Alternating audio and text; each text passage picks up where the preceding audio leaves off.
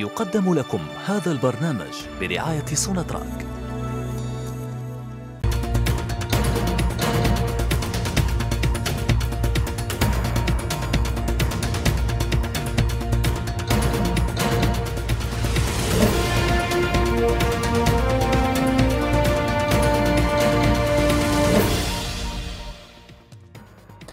النشرة الاقتصادية من قناة الجزائر الدولية. أهلا بكم.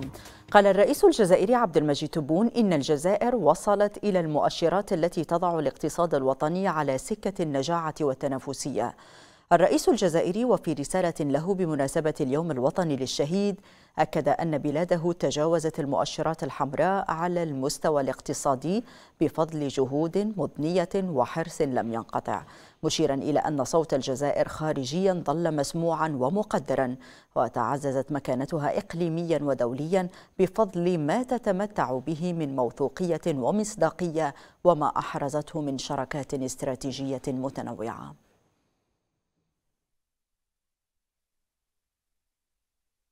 مهما كانت الأشواط والمراحل التي قطعناها والإنجازات والمكاسب التي حققناها بفضل الانخراط الواسع لبنات وأبناء الجزائر في مسار نهضوي وطني متعدد الأبعاد والجبهات فإننا نستشعر على الدوام حجم التحديات التي تنتظرنا لاستكمالها معا بعد أن تجاوزنا بجهود مضنية وحرص لم ينقطع المؤشرات الحمراء على المستوى الاقتصادي ووصلنا إلى المؤشرات التي تضع الاقتصاد الوطني على سكة النجاعة والتنافسية.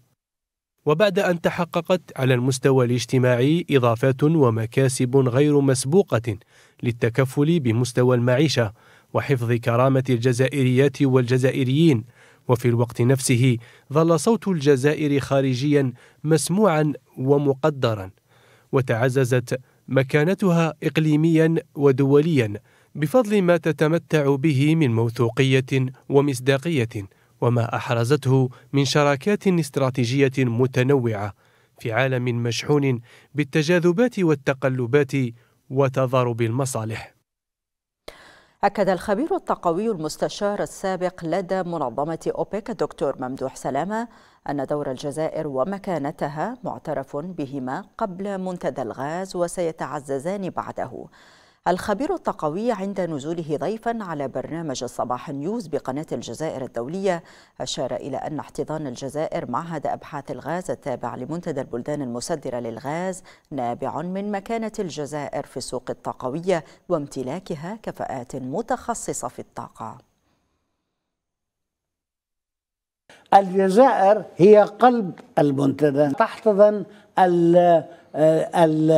المعهد التكنولوجيات نعم البحث نعم. الغاز في الجزائر كون لديها العلماء ولديها المتخصصون وبالتالي يعني هي تستحق أن يكون لديها هذا المعهد سيكون جزء كبير من المنتدى فبالتالي دور الجزائر معترف فيه قبل المنتدى نعم. وسيعترف فيه أكثر بعد المنتدى الخبير الطاقوي محمود أم ممدوح سلامة أوضح أن تنظيم سوق الغاز سيسمح بانتقال القوة إلى جانب الدول المنتجة للغاز في هذه السوق مشيرا إلى أن مكانة الغاز الأساسية في الاقتصاد العالمي ستعطي قوة إضافية استراتيجية وجيوسياسية للدول التي تملك الاحتياطي الأوفر وتصدر الكميات الأكبر.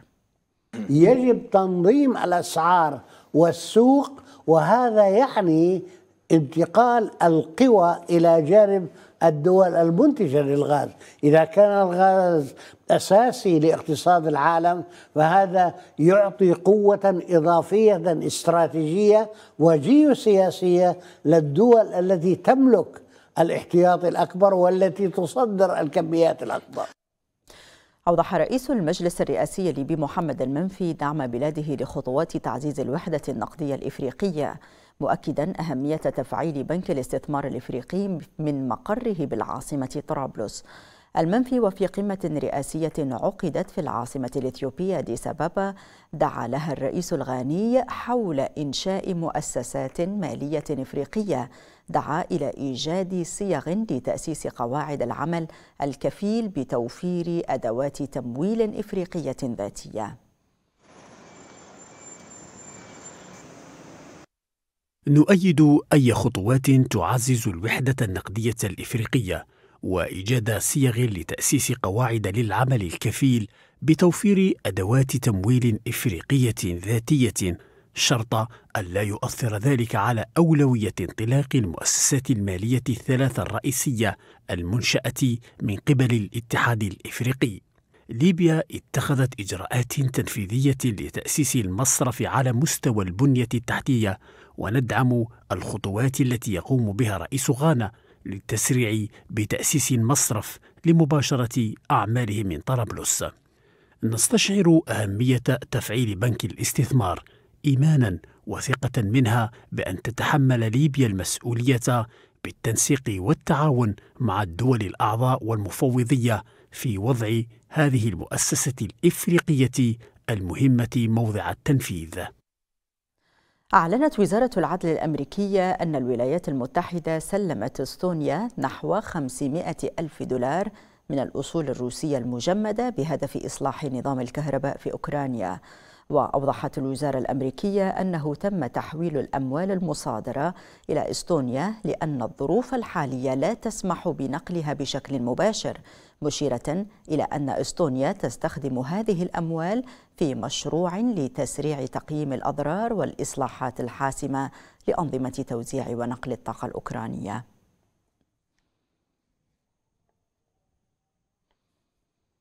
أبلغ وزير الخارجية الصيني وونغ يي نظيره الأمريكي أنتوني بلينكين أنه يتعين على واشنطن رفع العقوبات على الشركات والأفراد الصينية.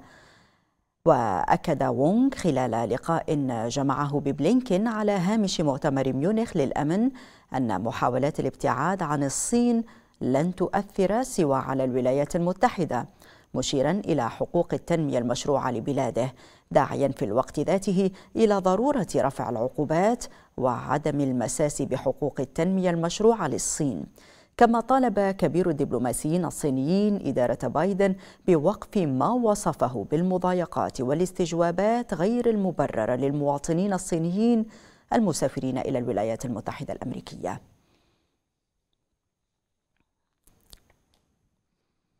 بلغ الاستثمار المباشر للشركات الألمانية في الصين مستويات قياسية عند 13 مليار دولار السنة الماضية. وحسب تقرير معهد الاقتصاد الألماني واستنادا لبيانات البنك المركزي الألماني زاد الاستثمار في الصين كحصة من إجمالي الاستثمار المباشر الألماني الخارجي إلى 10.3% السنة الماضية في أعلى مستوى له منذ 2014 وأشار تقرير لوكالة بلومبرغ أن هذا يدل على حرص ألمانيا على التوسع في ثاني أكبر اقتصاد حول العالم حتى في الوقت الذي يكثف فيه الاتحاد الأوروبي عملية التدقيق في هذه الاستثمارات بسبب مخاوف أمنية.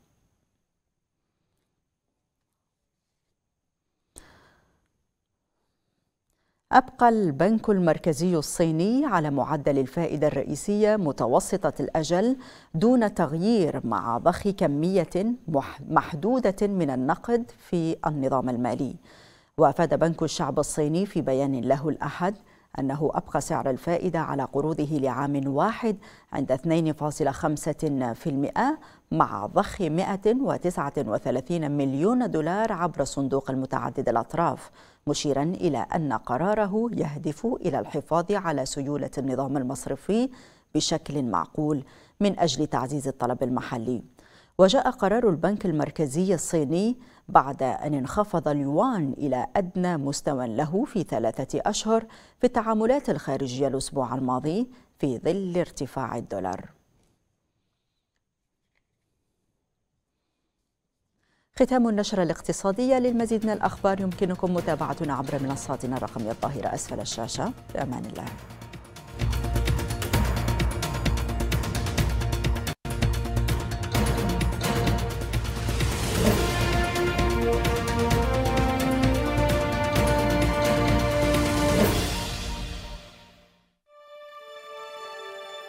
قدم لكم هذا البرنامج برعاية سوناتراك.